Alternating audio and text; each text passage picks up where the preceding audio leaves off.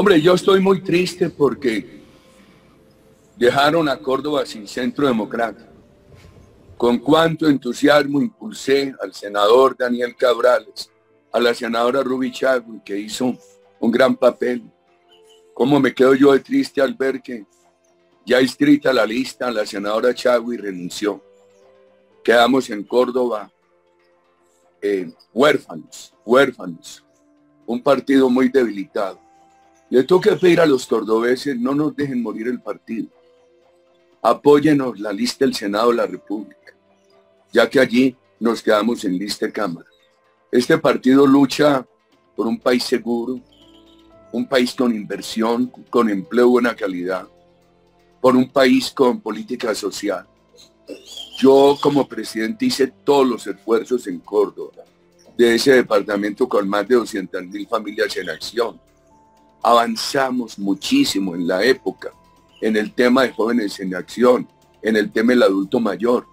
Yo recuerdo que el senador Juan Manuel López, cuando llegué a la presidencia, me decía, Córdoba está muy mal, no tiene sino 42% de cobertura de régimen subsidiado de salud. Lo llevé casi al 100%, queridos amigos. Hice todos los esfuerzos.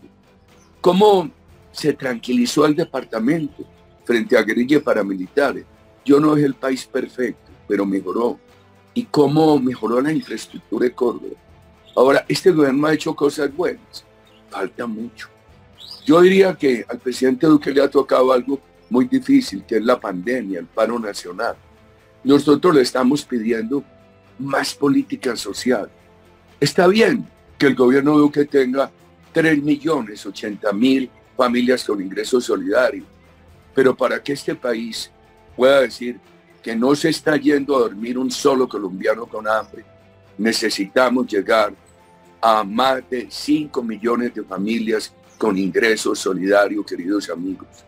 Hay mucho pequeño negocio, negocio callejero, pequeños locales que necesitan crédito, no pueden vivir del gota a gota.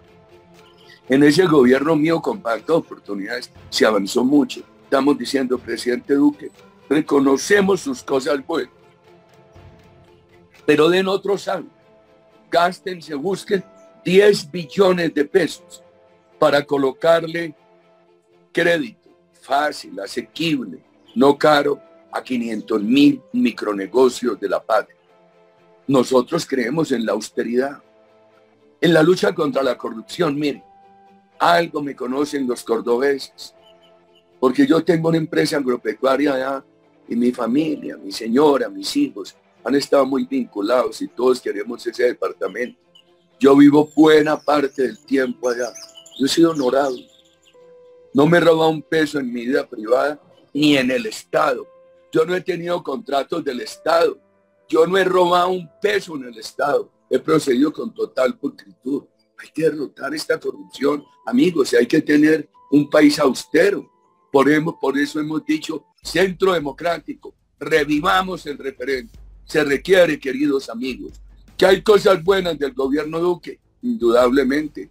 ¿Cómo no va a ser bueno los eh, parques de energía solar? Claro que eso es bueno. Córdoba, Córdoba tiene varios. ¿Cómo no va a ser bueno que eh, las obras que están haciendo allí, por ejemplo, que pavimenten esa carretera de las cruces a, allá Moñito. Eso es bueno. No hay duda que hay cosas muy buenas del gobierno del presidente Duque, pero faltan otras.